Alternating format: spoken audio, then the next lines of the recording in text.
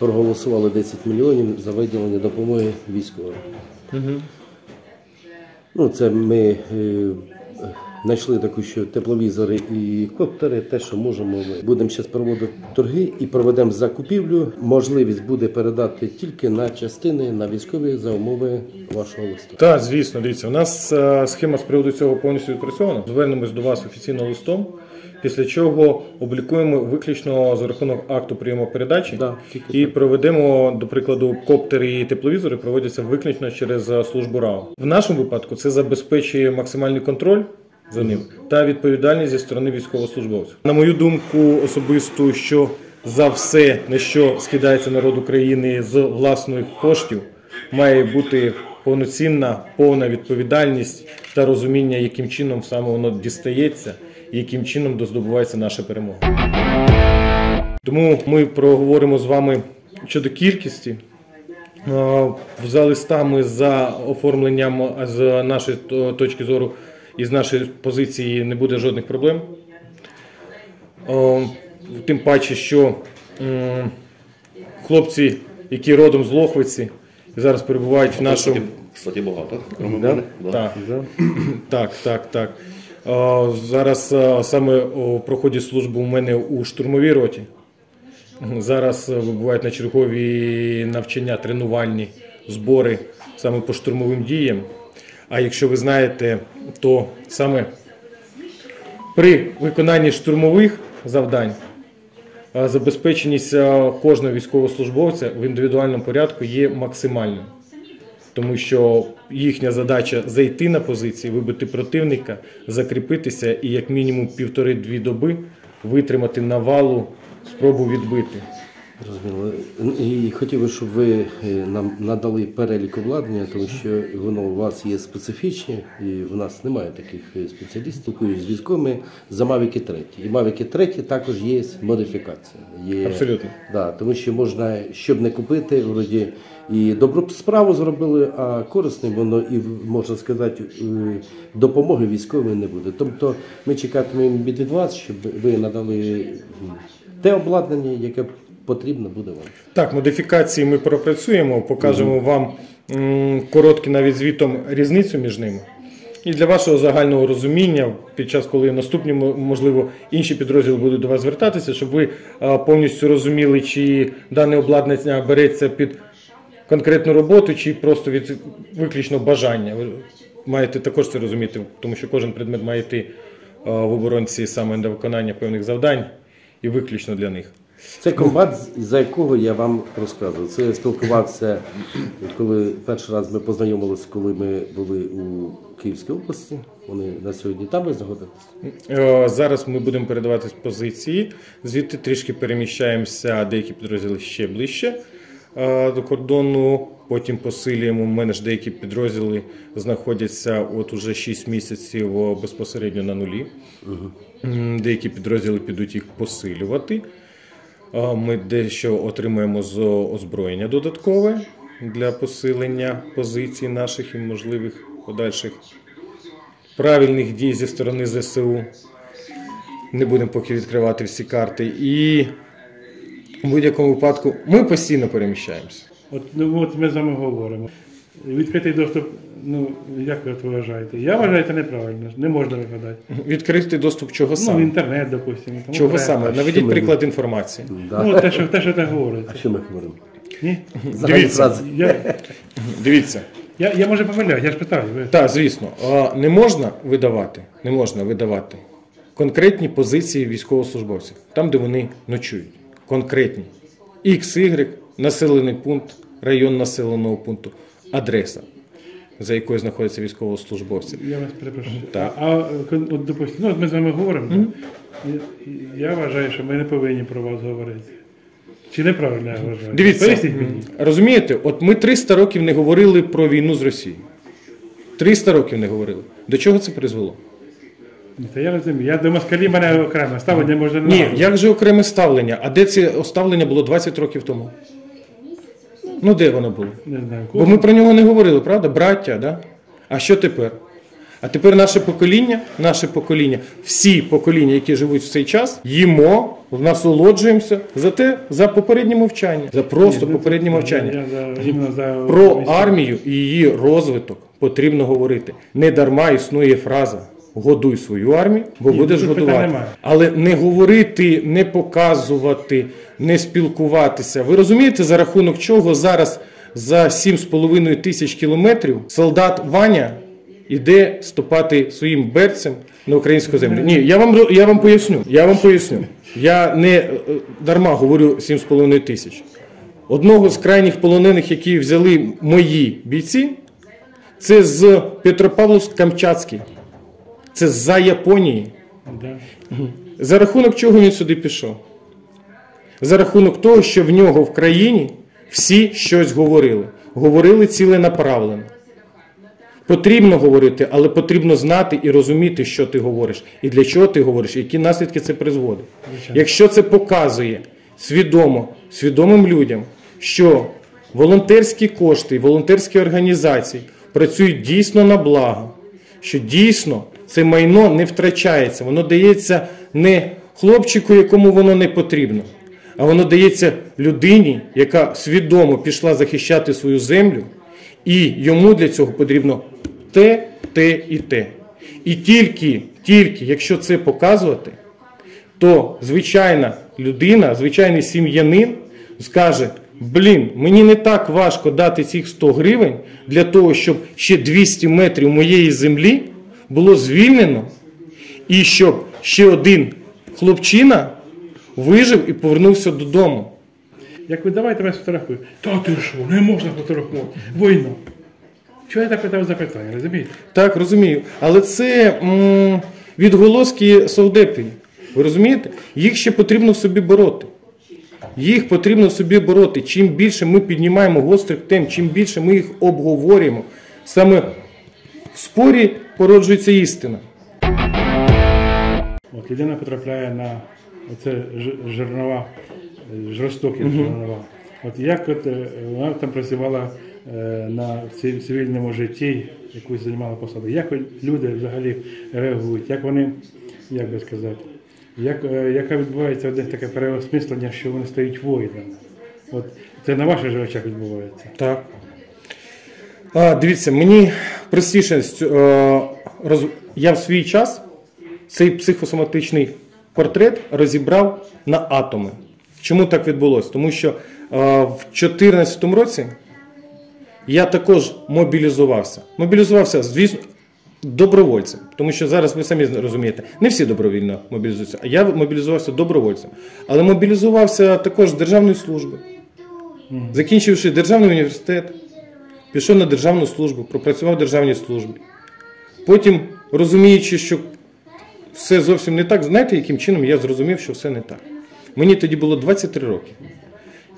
В 23 роки я був уже е, головним інспектором Державної податкової служби України в Деснянському районі. Аудит. Е, Досить гарно завжди розбирався з цифрами, досить гарно навчався до того, досить гарно працював в своїй сфері після того. Працював півтори тисячі гривень отримав. Тому що в нас, я ж говорю, є міф, що всі податківці вони батальйону Балі, да? Ні, не всі. Працював на півтори тисячі гривень, а потім в один момент, в січні 2014 року, коли ще Янукович не втік, кожному податківцю, їхніми начальниками, було поставлена умова, що у кожного держслужбовця має на столі стояти портретик президента по 300 гривень зарплати. Розумієте? Розумієте, який цирк, до якого маразму дійшла наша країна в той час? Хочеш виконати 300 гривень зарплати поклади. Ну, щоб Януковича подивитися. У мене портрета дружини не було на столі, а Януковича мав за 300 гривень поставити. І я воюю за 300 гривень. Для того, щоб такого маразму більше моїй країни не було. І з 14 років, з 14 року я не знімаю форму. Для того, щоб такого маразму не було. І пішов як командиром взводу. Молодий хлопчина в 23 роки, мені 24 і 25 виповнилось на фронті. 24 я ще взагалі не розумів, де ми знаходимося. 20 е, виповнилось через два місяці, ми вже брали Славянськ. Через тиждень брали Краматорськ. Потім через півтора місяця брали Дебальцево. А ще через 4 місяці я вже Донецький аеропорт захищав. Потім Світлодарська дуга, більш затища, лінія фронту зупинилася. І знову 24-го. І тому психосоматичний портрет військовослужбовця, який вперше потрапляє на передову, я знаю чудово. Страх. Перший бій це так страшно, не знаєш, чи витягнути цю голову з окопу, що потрібно лізти, тікати, хочеться все кинути і бігти, куди очі бачать. І знаєте, за рахунок чого тільки вони залишаються в своїх окопах? За рахунок того сержанта, командира відділення, того ініціативного мотивованого хлопчини, який каже: стій! Тільки тоді він залишиться, і з цього моменту він стане воїном. І наступного разу він вже буде просто удосконалювати вже набуті навички. От і все. А скажіть, будь ласка, от на ваш погляд, можна було в 2014 році е, покінчити з цією заразою? В 2014 році покінчити з заразою? Ну, Ні. Ні? Ні. Пояснити свою думку? Ну, я перепрошую, я просто додам. Як тоді говорили, що в Луганській області чи з Луганська взагалі повтікали, там вже тікали, драпали у бік Росії, що можна було заходити. Ну, це Ні, за- це неправда. Ні, неправда. Ну, дивіться, одна з частин, в якій я служив, базувалася в свій час на початок 2014 року, на початок всіх подій, в самому центрі Луганська. Вони стояли в трьох, їх три кольця. Коли аеропорт, о, десантники, пам'ятаєте, на аеропорту Правильно, розбились. А, На аеропорту безпосередньо базувалася їхня частина. А, Парк. Парк певної техніки. Специфічний підрозділ. Парк певної техніки базувався біля самого аеропорту міста Луганська. А частина сама особовий склад в центрі Луганська. Для того, щоб зберегти життя військовослужбовців, які були вже взяті ворогом уже в три кільця, з Плотніцьким, зампетєху цієї часті, доводилось напряму. Ось в мене є фотокартка, де вони напряму через залізний заборчик спілкуються, домовляються, яким чином зараз в тих умовах було зберегти життя, тому що ніхто не розумів, що відбувається, ніхто не розумів цілком повного спрямування на е, державних структур, хто який район відпрацьовує, в кого які напрямки, які сили задіяні. Ніхто не змів не зумів в той час повністю закумулювати з нашого боку. З нашого боку, а з їхнього боку діяла повна стратегічна перевага в цьому, тому що вони навіть не тактично, вони стратегічно були пропланували кожен момент, скільки, скільки яких підрозділів, в якій формі чи цивільному одязі заходять в тому і іншому напрямку. Скільки таких стрілкових було, про яких ми не знаємо публічно яким чином стрілкові могли переміщатися із Славянська через Дебальцево в Донецьк. Це все було ну, настільки сплановано, настільки продумано, що ну, ми ж вже на сьогоднішній день розуміємо з вами, що це мем. Знаєте, коли говорять, що Янукович втік, і тоді Путін вирішив захватити Крим. Да? Тільки медалі відчеканив за два тижні до цього, а так нормально, в принципі. А медалі так, щоб були. Тому закінчити в той момент було неможливо, тому що стратегічна була перевага на їхньому боці. І витягли, в моя особиста думку, виключно за рахунок батальйонів ТРО. У вас є час слідкувати за мережею, за інтернет-дописами, взагалі за тим, що відбувається в інфопросторі України? Абсолютно. Зі своєї сторони я встигаю навіть промоніторювати повністю політичні кроки Російської Федерації безпосередньо на їхніх каналах. Тому що пріоритетність подальших розвитку дій в них здебільшого застосовується ну, совок. Застосовується за 2-3 тижні до основного вкиду інформації. Якщо це більш складні кроки, то е, застосовується до двох місяців. І тобто, якщо ви відкриваєте ту саму Скабєєву і дивитесь її не з точки зору пропагандиста, а з точки зору аналітики її мовлення, її жестикуляції, ви повністю розумієте, що з від трьох тижнів до двох місяців будуть наступні процеси відбуватися. Вони озвучують те, що те, що планують. Абсолютно. Тому що саме за рахунок постійного навантаження населення певної інформації, е, населення досі в Росії приймає цю інформацію так спокійно, розважено, за планом. А те, що цей план тільки три тижні назад їм почали в ухи закидати просто кожних 20 хвилин різна людина з різною підтекстом, через різну інформацію, там через гумор, там через крики, там через сльози, а там просто сухим текстом пересказавши. Про це ніхто не задумується, тому що аналітичні е, здібності потрібно розвивати в людях. А навіщо хтось буде навмисно їх розвивати, будучи, ну, допустим, токарем? Коли ми можемо очікувати перелому? Перелом Якщо це можна говорити. Сам момент перелому ви зрозумієте тільки за з моменту, коли він почався, навіть через добу. Поясню вам чому. А, Валерій Федорович Залужний досить талановитий, досить талановитий генерал, досить талановитий командуючий. Вперше співпрацювати з Валерієм Федоровичем мені довелося в, з 18 року. Він прийшов на посаду командуючого оперативного командування Північ в підпорядкуванні якого я знаходився. І вперше з цього, саме з його командування, вперше почали проводитись навчання не оборонні, не оборонних дій, а наступальних та контрнаступальних. Насичення нашої країни країною техніки та озброєння, повноцінних наступальних дій, саме наступальних дій, унеможливлює в деяких напрямках, деяких основних для нас напрямках, що не можна сказати про контрнаступальні дії. Контрнаступальні дії різнять дій наступальних виключно тим, що ви проводите швидкий наступ в розриві підрозділів противника під час їхнього здійснення маршу наступального, коли вони не сидять в окопах, а коли вони заходять на техніку і намагаються йти вперед, ви між ними проскакуєте, і ви вже в їхньому тилу заходите в їхні позиції. Такі маневри ви побачите як цивільні особи лише через добу після того, як вони стануться на тих чи інших напрямках, коли про це відзвітує той чи інший підрозділ, який здійснить його. Противник теж, напевно, вчиться воювати, а стільки читає багато. Змінюють тактику. В них трішки інша вертикаль. Вчиться, так вчиться. Тільки вертикаль відповідальності в них не така, як у нас. В них для того, щоб е, підрозділ, починаючи з відділення, а саме найменший підрозділ це відділення. Відділення прийняло певні дії, ті чи інші. Їм потрібно, потрібно відзвітуватися командиру відділення на командира взводу, командиру взводу на командира роти, командир роти на командира батальйона.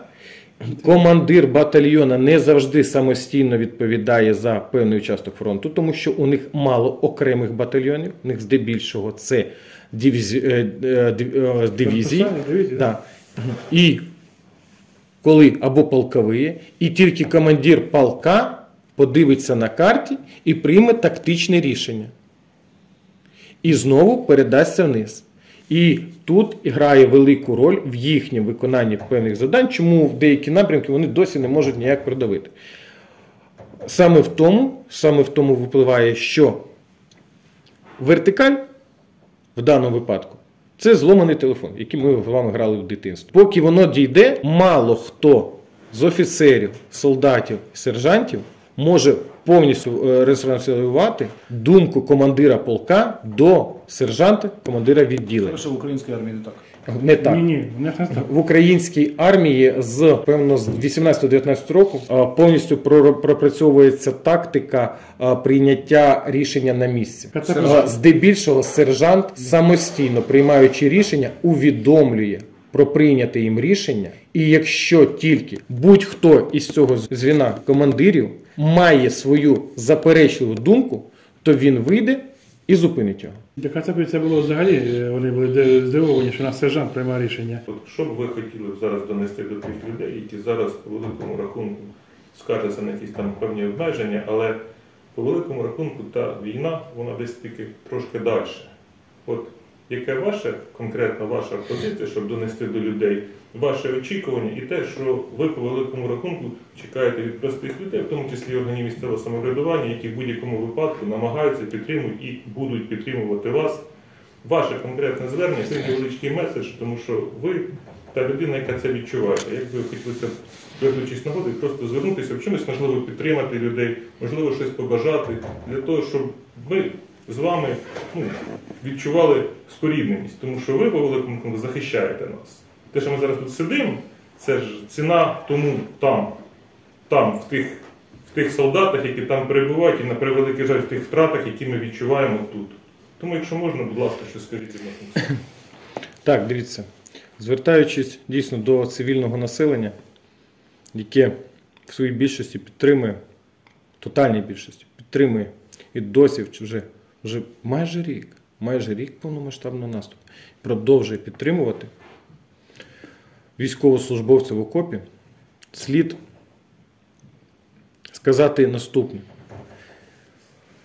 Основним меседжем кожного військовослужбовця, який заходить в окоп на нуль і ризикуючи, утримує свою ділянку фронту, є те, заради чого він туди йде. Кожного військовослужбовця в усіх 100%. Якщо запитати, він скаже: Я йду захищати рідну землю, рідних мені людей, домівку своїх близьких. Тепер уявіть той момент, що цей військовослужбовець 100% дізнається, що йому, його там не підтримують і воно вже нікому, в принципі, не треба. Подібна ситуація в нас вже була. Рух підтримки в 2014 році протримався півтора роки. Півроку сильно, рік так собі, через півтора роки рух підтримки зупинився. До чого це призвело тоді? До повномасштабного наступу 24 лютого 2022 року. Військовослужбовцю потрібно, це єдине, що йому потрібно там, це очікувати підтримки. Це не обов'язково фінансова підтримка. Ви не уявляєте, наскільки ми радіємо малюнкам дітей. Ви не уявляєте, наскільки ми, у мене кімната в підвалі повністю заклеєна прапором моєї частини на фоні жовто-блакитного прапору та діт, малюнками дітьми, дітей. Я прокидаюсь, я дивлюсь на них, і я розумію, заради чого я буду цей день виконувати, викладати себе наповну. І так кожен військовослужбовець. В кожного військовослужбовця всередині, в внутрішньому кармані лежить малюнок якоїсь дитини. Це не дає йому забувати, заради чого він іде. А тепер уявіть, ці люди, які в тилу підтримували, складуть руки. Складуть руки і скажуть, ми втомились. Це неможливо буде загальною перемогою. Це не буде загальною перемогою, якщо попереду солдат не відчуває підтримку ззаді. Тому в мене прохання до людей: не складайте руки, поки ми не вийдемо на кордони 91-го року. Після того, поки ми тотально інформаційно не переможемо русню, не дамо повне усвідомлення російському народу про вчинений їми злочин, не складайте руки. Ми маємо втягти із себе по максимуму.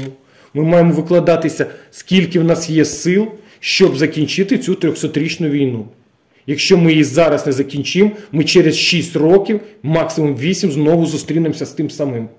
Знову підросте покоління, яким зараз по 12-15 років вони прийдуть повністю одурманені знову пропагандою. Пропагандистська машина не так, вона в них зараз не затикається, вона почне набирати обороти, через 5 років вона вийде на такий рівень, що люди прийдуть зовсім з нами боротися як з космонавтами. Вони не розумітимуть, проти кого вони зараз не розуміють, проти кого вони йдуть.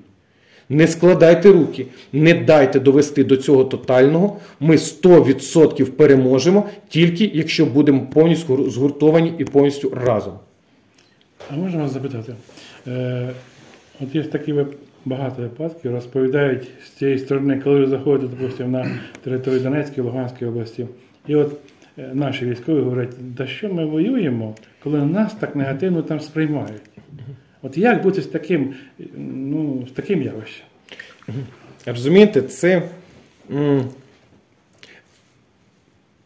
Ну, щоб не збрехати так середньо візьмемо, у 70% цих випадків Це є не зовсім адекватне сприйняття реальності. Військовослужбовці, які вже трішки послужили, трішки позмінювали свої КСП підрозділів, поїздили по фронту. Вони розуміють, що люди скрізь, в принципі, в принципі, по всій території України, навіть окуповані на нині, вони однакові. На самому нулі в населених пунктах настає таке виснаження у людей, коли вони не хочуть війни. Вони не, вони не кричать, що вони хочуть Україну всі. Вони не кричать, що вони хочуть Росію всі. Вони не хочуть війни саме в себе під будинком. Це нормально. В тих умовах для тих людей це нормально. Їх потрібно розуміти. Потрібно розуміти, що вони є некомботантами. Ми в частині досить детально розбираємо міжнародне право про комбатантів, некомбатантів. Хто має відношення до бойових дій, хто не, ма, не повинен мати відношення до бойових дій. Тому вони не комбатанти. Не комбатанти це цивільні особи, які не приймають жодної участі до, в бойових діях. Не за рахунок підтримки, не за рахунок тримання зброї в руках. Ніякої. І є комбатанти. Це я, це мій побратим, це будь-хто, хто приймає безпосередню участь в бойових діях. Тому, заходячи на наступний населений пункт, ми ж також частково ставимось упереджено, тому що в нас є певні інструкції, які ми перечитуємо по 5 разів, що може бути недовіра місцевого населення. І ми починаємо її шукати самостійно, цю недовіру. Якби в нас прописувало повинна бути довіра місцевого населення. Ми б шукали довіру місцевого населення. Тому що ми 20 разів перечитали, ми б шукали довіру місцевого населення і знайшли б людей, які, яким би мають довірились. Але ми військові, ми йдемо від гіршого завжди. Ми розглядаємо будь-які сценарії від гірших ситуацій. І тому ми говоримо в своїх інструкціях, що може бути саме недовіра. І розглядаємо, звісно, перший час на нулі будь-який населений пункт з точки зору недовіри. А люди, які, до яких відносяться з недовірою, як будуть до вас відноситись? Бігти цілувати вас всіх дружно. За статистикою, мій канал дивляться більше 30% росіян з Росії жителів. І є якісь побажання їм або просто меседж. Нещодавно спілкувався з одним росіяном. Це також Полоненим? Надію. полонений. Людина з двома вищими освітами. Юридичний та психолог. Здавалось б. Ну хто у психопортретах краще буде розбиратись, ніж людина, яка 5 років віддала юридичному і 3 роки на другу вищу освіту психолога. Говорю, чому ти пішов сюди? Згадали мені бібліотеку Азова, причому не підрозділу, не військової частини Азова, а організації Азова. А бібліотека їхня це типу катівня, яку називають. Згадали мені Дон, е, бомбіть Донбас 8 років. Згадали мені Верженова Януковича, Бандеру. Методичка. От людина, тільки ця людина не працює по методичці, це людина з двома вищими освітами. Я добросовісно при ньому так сидів і кожен його пункт записував. Говорю, а тепер давай уявимо, що замість цього Україна стоїть написано Японія. Прочитай, говорю, це ж сюр. Це ж сюрреалізм. Говорю, ну, ти воюєш як в кінофільмі. От апокаліптичні фільми, знаєте, починаються такий йде маленький сюжетик, типу, такого то року стався апокаліпсис, люди почали їсти друг друга. Ну, говорю, і ти далі дивишся фантастику, з повним розумінням, що це фантастика. А сюди ти йдеш повністю напічканий сюром, фантастичними діями. І чекаєш тут, що, ну, що, що тут людоїд вибіжить. Ну, мавка спуститься. Ну, що ти чекаєш? Так от у мене наступне побажання громадянам Російської Федерації. Не воюйте з кінофільмом. Так не буває, як вам говорять. Ви просто, якщо ви з Брянської області, уявіть, що у вас отаке в Курській області. Чи може таке бути? Ваша відповідь буде ні, звісно, ну як таке може бути? Так от через 20 кілометрів від Курської області теж так не буває. Так не буває. Досить показово було, що задавши питання, я слухав, слухав цього військовослужбовця, так сказати, з двома вищими освітами. Я в один момент зрозумів, що він ліпить все вкупу і говорю: слухай, друже, а в тебе є різниця між нацизмом і націоналізмом? Можеш її пояснити? А він, клянусь вам, він сказав, то це одне й те саме. Я говорю, а шовінізм? Говорю, це теж те саме. Говорю, а фашизм? Ну, це ж нацизм. Не ліпіть все вкупу. Відкрийте Вікіпедію, перечитайте терміни, розберіть кожне слово. Чомусь ваші діди і ви не називали ніколи нацистську Німеччину націоналістами. Хоча партія в них була націоналістична з гарними е, нахилами і гарним ходом, але потім пішла не по тому шляху і перейшла в нацизм. Не путайте, не робіть з націоналістів нацистів, не робіть з українців фашистів. Це не так.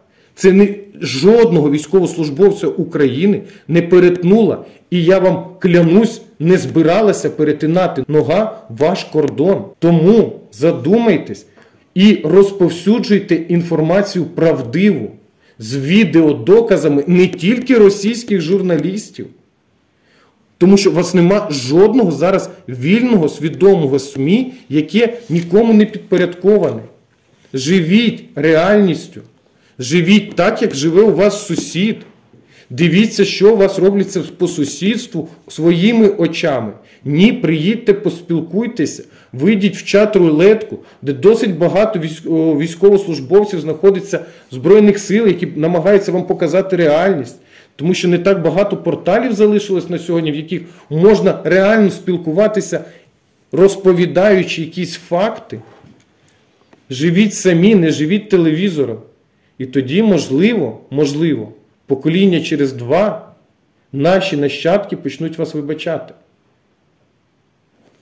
А скажіть, будь ласка, е, ну я, е, вони напевно не розуміють, що вони вже е, перейшли межу, що вони фашисти. Ну, цього вони найближчим часом не зрозуміють.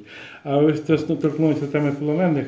А не можете пригадати такі ну, кумедні випадки, ну вибачте, для преси скажу, ну такого ну, дебілізму конченого. Як і слухаєш полонених, і як оце їхнє оце усвідомлення того, чого вони воюють, ради чого. От можливо, у вашій е, історії були такі, такі випадки з полоненими російськими. У мене з кумедних випадків був. Ну, це як, ну, клянусь, як по мультику, у мене навіть його документ досі вдома лежить в серванті. Серйозно, ну, от прямо лежить у мене в якійсь тумбочці, там, знаєте, таке ехо війни, я його називаю, шкатулка. Ваня Зайцев. Я Ваню Зайцева в 2014 році два рази в полон брав. Серйозно, ну, так буває. Да? Беремо Ваню Зайцева перший при штурмових діях одної з позицій. Ваню Зайцева, Балтійський морпех, контрактні. Ну там же як грамотно вони робили? Вони. Чому Росія ці роки там доказувала, що наших нема? Приїжджає певна посадова особа військову частину Російської Федерації. Каже: є пропозиція підзаробити кошти. В принципі, там нічого нема, хахлами воювати. Наступна пропозиція полягає в тому, що ми ваш контракт призупиняємо, даємо вам контракт добровольця на півроку. Півроку ви знаходитесь там. Через півроку повертаєтесь, поновлюєте себе на службі, служите далі. Але цих півроку, ну, типу, ти вже сміється. Але цих військовослужбовців стоїть полк. З полка вийшло 100 чоловік. 100 чоловік це вже рота. Зведена рота. Роту зробили. Рота ж іде все одно під своїм шевроном, вони ж військовослужбовці планують повернутися туди само. І от Балтійські морпехи таким чином під Дебальцево зі сторони Зорінська стояли. У нас стояв взвод, їх рота. Ми проводимо одні штурмові дії зачистка спостережного посту. Забираємо звідти живими два чоловіки. Серед один гарно запам'ятав Ваня Зайцев, у нього військовий квиток, все при собі, ну от молодець. Ну, Ваня, що... Колоритне. Так, ну важко не запам'ятати. Я говорю, Ваня, і що ж ти так, як же так? Ну, на що ти сюди прийшов? Він каже, у мене контракт, всі ці віші. Ми його передаємо СБУшникам. Е, тоді в це був, це був червень, липень, серпень, серпень місяць 14 року. В серпні місяці досить активно йшли ще обміни. Прям досить активно, вони прям на локальному рівні, тоді ще не було державного рівня, 500 на 600. Тоді 10 на 10, за рахунок навіть командирів батальйонів, командирів бригад про- проходили обмін. Пані Зайцева дуже досить швидко поміняли. Я не знав. Ну, типу, я був командиром взводу. Ну, передали все, там, хай працюють СБУ, то далі робота СБУ. Проходить два тижні. Ми проводимо штурмові дії заходять зі сторони. Це навіть були більш контрнаступальні, тому що група ми побачили, що заходить, обійшли їх зі сторони, поклали лицем в нашу прекрасну землю. Підбігаємо, і в мене там вже зразу один боєць підбігає. Хто, хто, хто такий? Я дивлюсь, ну Ваня Зайцев лежить. Кажу, Ваня, в тебе. Ти що? Ти що тут робиш? Опять. Він мені каже, так що ви хочете? У мене контракт, бляха, мене полгода все одно сюди не випустять. Ну, ну, у мене контракт, я ж цілий, мене в больничку покладуть, я вилічусь, мене все одно повернуть сюди. Говорю, так що мені руку, ногу ламаєте, все одно повернуть, мене ще 4 місяці залишилось. Отак, Вань, да, отакі були. Такий Ваня Зайцев. Отакі Ваня Зайцев, Е, да. Цікавий, от е, на тих е, у суботу ми були в Константиновці і спілкувалися із список від нашого Злофорського району. Він у радіорозвідки працює, і він слухає їх. То е, слухаючи Кацапів, каже, перехоплення їхнє, це просто було шок. Каже, я відразу сміявся. До цього часу вони говорять, що вони воюють з німцями. Да, от вони говорять і вони думають, що це німці, а не українці. Поляки, німці, французи, Абсолютно. Абсолютно. негри. А знаєте, чому так відбувається? А у вас у багато найомників із-за кордону? Поляків, американців, німців там. В мене? В мене? Ну, знову, це тема для жарту. У мене є один найомник страшний. Ем, Ми його бачили, по-моєму, да? Якось його позивний. У мене там а, товариш, ми познайомились дійсно в березні місяці. Він приїхав, він ветеран Литви, але він волонтер. Він герой Литви. Він ветеран литовського спецназу, герой Литви. Але йому 59 років. Він мене все впрошує, ну візьми. Я кажу, ну, у нас законодавство, це нас реально можна взяти тільки по законодавству. Для цього будь-який громадянин, ну будь-який, який пройде певне тестування, який пройде перевірки, який стане на облік, е, е, заключить контракт, він війде в ем, інтернаціональний е, батальйон. Кажуть, легіон. Легіон це дуже громко. В батальйон. І в інтернаціональному батальйоні в складу цього може приймати участь в бойових діях. Тільки інтернаціональний батальйон нараховує штат 500 700 чоловік. Фактично близько 550-600 чоловік. А в армії в нас близько мільйона загально. Тому, типу, сказати, що за нас воюють іноземці, так. Сказати, що це, це, це та кількість. Ні. У нас, у нас є дійсно, але вони військовослужбовці Збройних сил України, вони офіційно на це оформлені і офіційно отримують заробітну плату.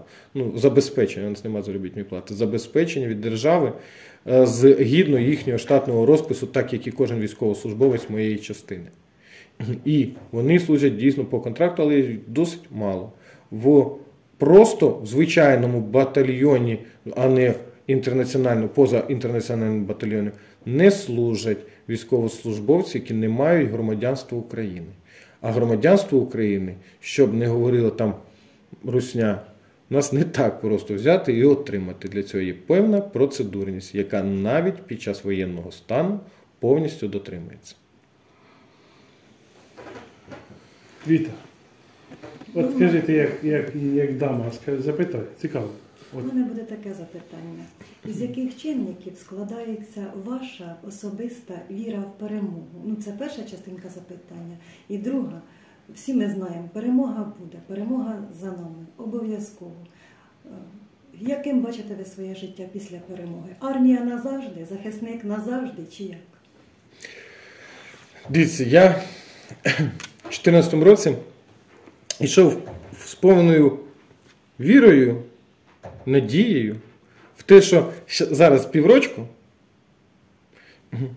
перемога, повертаюся на службу, продовжую в державній службі бути, все добре, будемо будувати країну.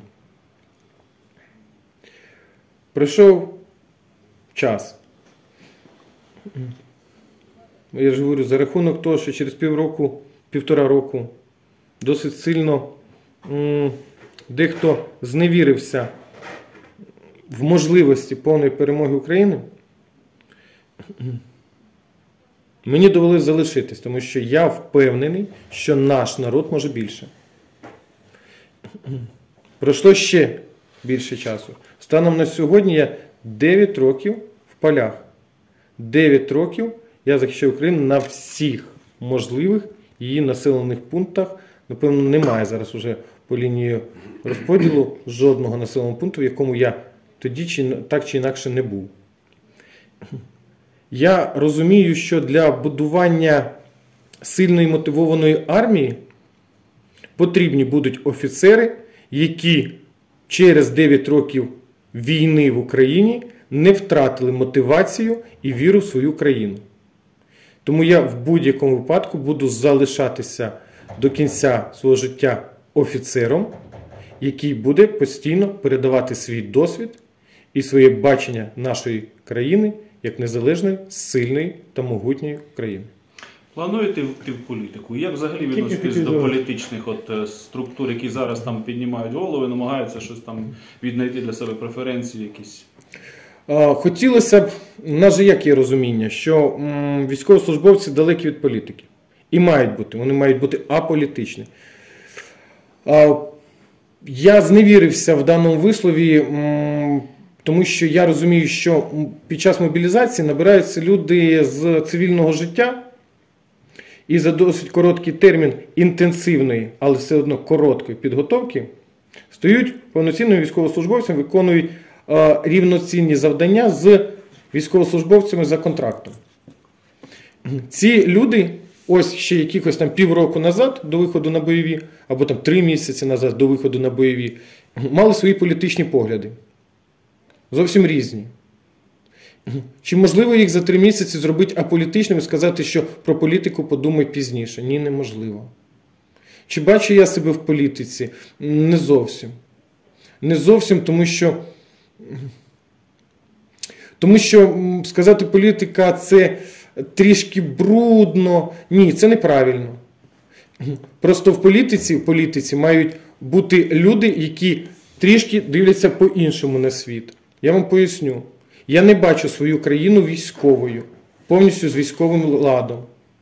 Я бачу після перемоги вільну країну, яка розвивається інфраструктурно, яка розвивається в галузях, не, завжди пов'язаних з війною, в яких армія знаходиться на одному із передових місць, але не на першому, яка спонсує, створює, посилює свою армію, але розуміє, що наша земля і інтелект нашого населення це є нашим пріоритетом, який можна і потрібно розвивати, і за рахунок нього тільки піднімати країну.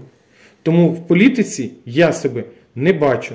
Наразі точно не бачу, тому що я військовий. І мої погляди вже через 9 років не завжди є правильними з цивільної точки зору. Вони є в чому набагато жорсткіші, а не завжди жорсткістю можна здобути перемогу, коли війни як такої немає. От і все. Оце відповідь на моє друге питання, як відноситись до політичних структур. Да? Питання до вас можна? Питання просте, звичайно, людське. Чи віруюча ви людина? І як ви взагалі ставитесь до інституту капеланства, яке зараз у нас впроваджено в армії? Дивіться, чи віруюча я людина? Я однозначно вірю.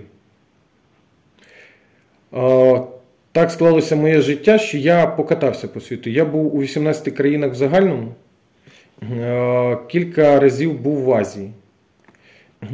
Я досить гарно ем, передивлювався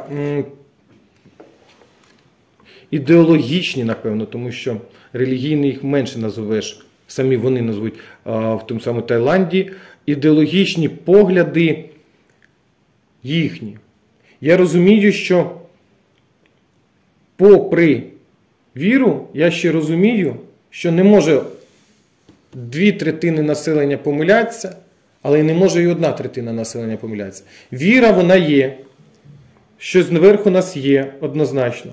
Але сказати, що це саме так, як у нас в Біблії написано, ну я не зовсім впевнений. Сказати, що о, так як ом, свідки його, не зовсім впевнений. У мене віра своя, напевно. Я вірю в те, що в мене є янгол-охоронець. Я вірю, що вищі сили і м, особливо близьких померлих охороняють і допомагають нам, направляють нас. Віднести це до якоїсь певної релігії я не можу, тому що я багато їх бачив.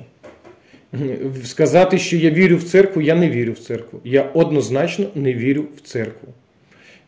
Я вірю ще раз в релігію, в духовність, але не в приміщення. Інститут капеланства потрібен? Інститут капеланства потрібен. Поясню чому. Тому що це також на фронті досить не вистачає, говорять, психологів. От одна з потреб це психологічне розвантаження особового складу. Це люди, які призвані поклали своє життя для того, щоб вислухати і дати правильну оцінену настанову. Тому люди, які готові надати психологічну підтримку саме в бойових діях, вони, звісно, потрібні. Та ви, Віктор, ми можемо е, цю людину дуже довго мучити. Замучити. Цікаво, розумієте? Запитання. Ні, ну я ж вам говорив. Так задавайте. А, а, але то, хот- і хотілося фото зробити е, ваше. От. І взагалі побажати, щоб е, ви всі хлопці повернулися додому живі, з перемогою. Ви просто не уявляєте, от, яке це було б щастя для всіх, я, я бажаю для всіх українців, от, коли ми поб'ємо цю заразу, цю, яка на нашу землю зайшла, цей фашист російський. Тому тримайтеся, дай вам Бог здоров'я, і хай все буде добре. Ми витримаємо. І саме головне повертайтеся живими. От наша невелика громада, я вважаю, невелика, 20, 22 тисячі нас населення. Оце вчора ми їздили, але не могли забрати нашого Романа. 18 хлопців вже ми 17 привели, 18-й Роман. Батьків знали, але, на жаль, е, для прокуратури там було недостатньо ознак, що то він. І буде завтра їдуть батьки здавати ДНК. 18 хлопців ми вже провели в останню дорогу. Саме важче я на кожній похороні буваю, то саме важче це Ви знаєте, ми під час виконання будь-якого бойового стаємо, ми його ретельно продумуємо, декілька планів, ідей. Саме страшніше. На бойові, особливо склад, коли збираються, завжди говорять, головне, щоб це було не дарма. Саме, ви знаєте, це і є, напевно, таке заключне побажання всім нам, українцям. Не дайте зробити так, щоб це було все дарма.